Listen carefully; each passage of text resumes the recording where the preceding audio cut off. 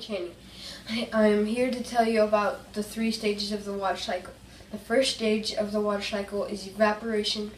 The second stage is condensation. The third is precipitation. It's going to represent lakes and oceans. The lid is going to represent cool air.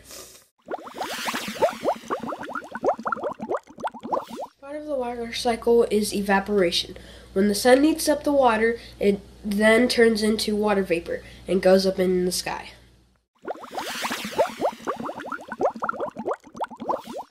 Vapors come in contact with cool air.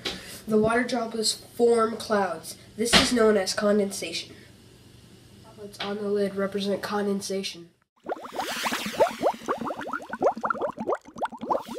Oh, the last part of the water cycle is precipitation. That is when the water droplets come together, and because of gravity, it causes the water droplets to fall.